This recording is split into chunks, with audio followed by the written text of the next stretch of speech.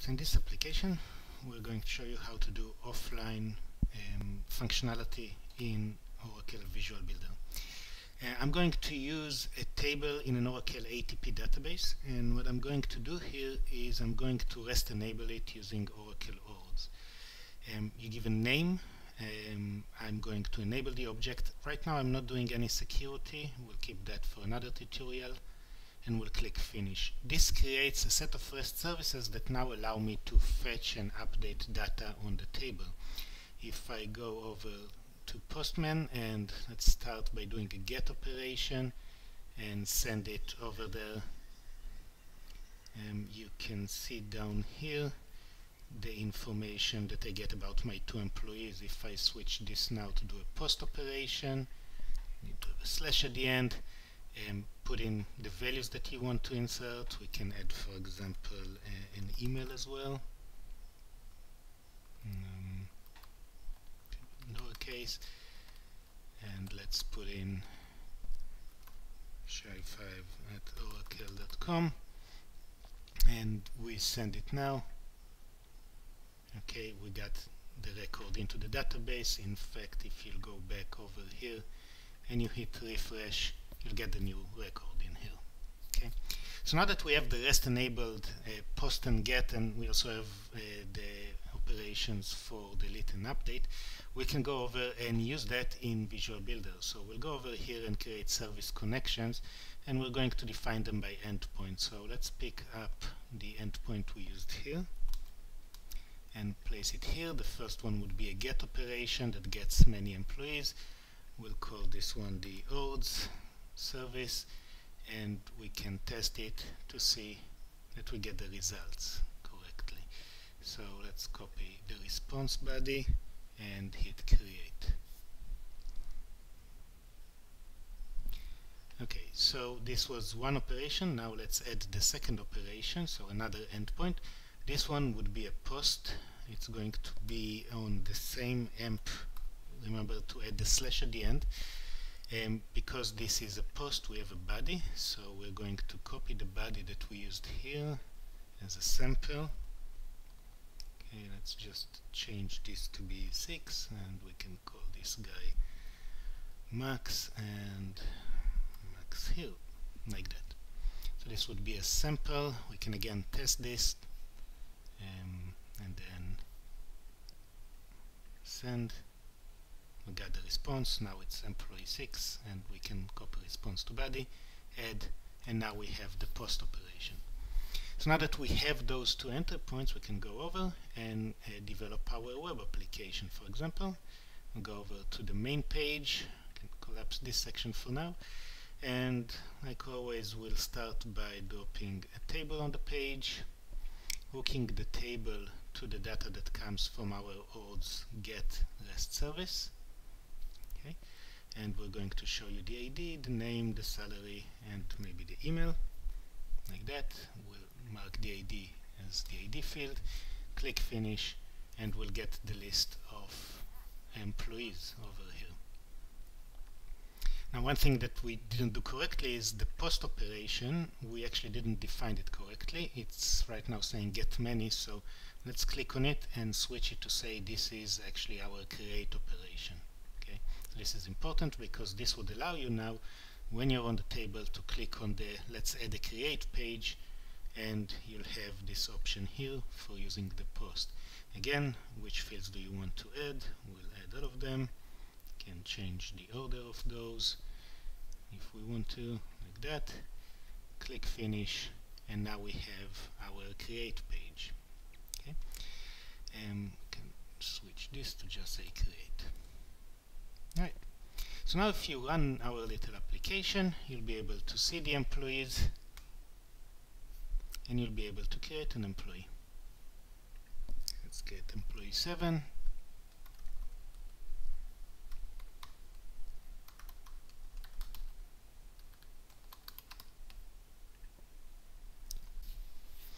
And our data is in the table. We're now going to show you how to do um, offline capabilities on top of this application. So to do that we're going to go back into Visual Builder and uh, to figure out how to do offline the first thing you'll probably do is Google. So if you Google VBCS offline, this would take you into our documentation. We have a full chapter that describes how to do offline, the basic architecture of how offline works, and it would point you also to the JET uh, offline persistence uh, solution for more information. It also has a sample uh, of code here that you can copy and use in your application. So I'm just going to copy and use it as is in my application. The place where you copy it into is the JavaScript part of your application. So this is kind of the app module part and uh, I because it's empty right now I'm just going to replace it with whatever I get from our documentation. As you can see we're referencing here a set of libraries from the offline persistence that JET provides and we're then using it in the code and you can read the code and figure out what it does. Um, the important line here is right here where we have an address for what we're actually going to cache.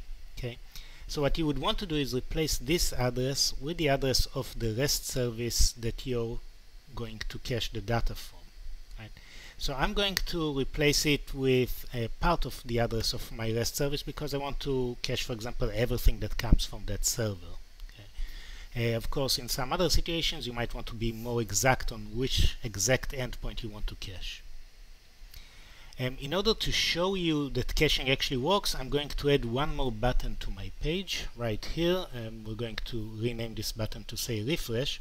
And this button is going to refresh the data in our table. Um, to do that, we're just going to invoke the data provider event on our service data provider that populates the table. And on that, we're going to invoke the refresh method. So now we have a refresh button that refreshes the data in the table uh, by doing another query, basically another REST call.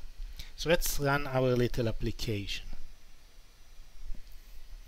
Okay, um, I'm going to turn on the network um, over here, the network monitor, and we're going to hit the refresh button, and you'll see that we're doing a REST call.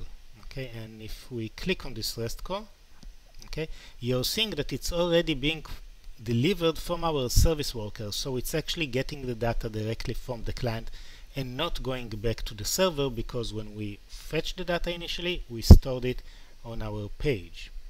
So if we now go for example and remove one of those employees let's remove Joe for example from the database directly. And if we'll go over here and hit refresh again the data is coming from our client cache. Therefore we're not going to get the updates if we want to do the updates, we probably want a different um, caching mechanism for this endpoint. Okay. So if we look here, this is the caching strategy we're using right now, the fetch strategy. And this fetch strategy is called first strategy, a cache first strategy, basically meaning we're always getting the data from the cache initially when it's there. Now if you go and copy this and Google this one, you'll be directed to our JavaScript documentation for the persistence. And you'll see that there are two caching strategies that you can use. Okay, What we're using right now is cache first, but there's another one that is called cache if offline, which is something that most people would actually want to use. And this would mean that we only cache the data when we're offline and then we're returning the data from the cache. Okay, So let's copy this one and replace our code okay and the strategy that we're using to do uh, get cache if we're offline. Okay so run the page again and we get the data. Okay. And if we look at the current operation yeah it's coming from um, our repository from the cache. So let's clear our cache first okay and then reload our application. Okay so we don't have data in the cache we're currently online so we get the real data um, over here. And if we look at the REST call over here yeah it was served from the server. Now we can turn on offline. Okay. Hit refresh. And now if we look at the call that we did this was served from our persistence layer. Okay from our cache if we now switch again into online, we'll be able to get the data from the real database. So first let's remove one record from the database again. Okay, so removing the SHA-5 record. going up here and doing refresh we're still fetching from the cache so we're not seeing the changes but if we're moving over to be online hit refresh this time we're fetching directly from the server the database and we get the updated set of records over here so now we're basically caching when the application is offline and otherwise when we're online we're getting data directly from the server the next step is to hook up the post operation. So the post operation, the create operation here is a little bit more complex and you need to add a little bit more code here. So you will be able to copy this code from my blog entry that accompanies this video. And uh, what we're going to do here is we're going to add a section that handles situations of post. So we're overriding how we're handling a post operation. So let's copy this and we'll put it as one of the options again that we're defining to our offline handler. And we're referencing here a handle post method. So we need to add this handle post method. So again, we're going to copy it. Uh, you'll copy it from my blog. I'm copying it from this code sample I have here. Okay and this is simply a method that tells our offline handler what to do in a case of post and if you look at this code you will see that all we're doing here is we're uh, returning um, an OK code from our um, request. Okay so the 202 code that we're returning over here. You can also see that this is using something called persistence utils. This is another library that we need to add so let's add this library. Again you can copy this from my blog entry. Okay and we'll add it just here above for example the persistence manager don't forget the comma over here and then you need to also add it in the function over here so not just in the define. Edit it the right location add the comma and we're actually using an uppercase here when we're referring it to it later on over here. Okay? Like that so this handles our post operation now we need one more method and that method would actually synchronize the data that we're caching the post operations once we're back online. So to do that we're going to add one more method from our um, code sample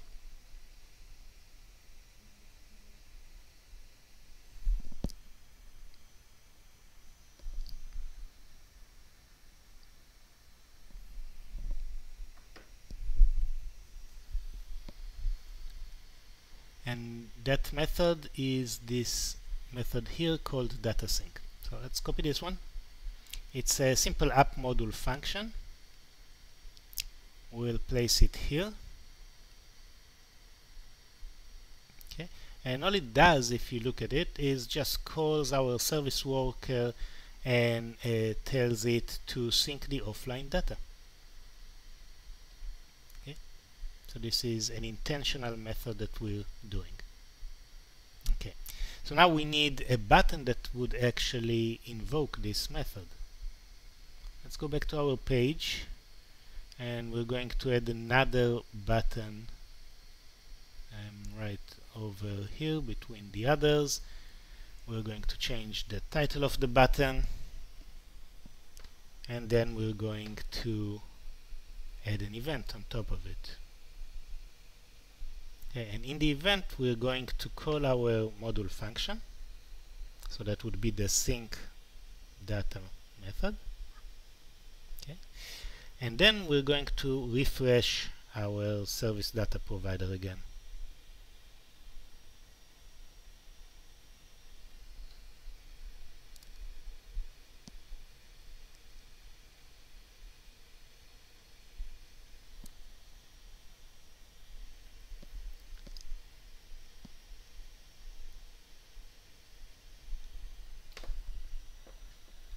So now let's again clear everything and create a record. Um, again, we're going to switch over to be offline and we're going to put in that about the record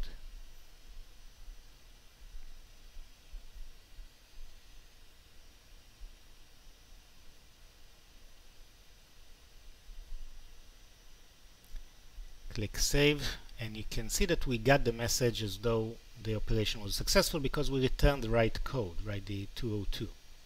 Okay.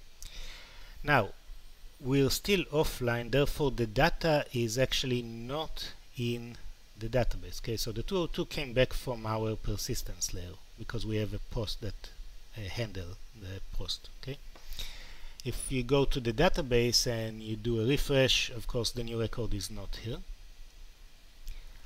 But if you come back and switch to be online and click the data sync, okay, we're going to clear here so you'll see what's going to happen. Okay. Um, let me show you just that the operation you did are kept here in this database on the client, right? So if you look here um, by the sequence over here, you can see the operations that our persistent handler is doing, okay? And you can see this was the get, and then after that we had the post, okay? And then we did another get. Okay. So now we need to replay the post operation, and this is what's going to happen when we click the data sync button. So let's make sure we're online. Click the data sync. This replays our uh, post operation and you will be able to see it in the log. And you can now see the data in the table. So this is a little bit of how you can start working with the offline persistence inside Oracle Visual Builder Cloud Service uh, to enable your applications to work offline as well as online.